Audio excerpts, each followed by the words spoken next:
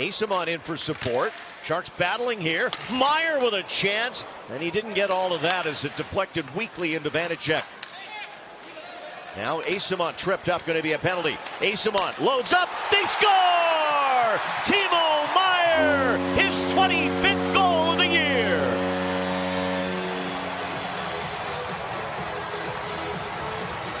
Create a turnover this is the initial shot going in the corner. I talk about 50-50 pucks. Asimont comes up with it, gets tripped there. They're going to be a penalty, delayed call, but nice pass from Karlsson into Asimont who pivots into the slot, become available passer. He was. Timo comes out the other side and then just kind of redirects this in the back of the net and just a really nice pass there. Good look from Karlsson. Great look from Asimont.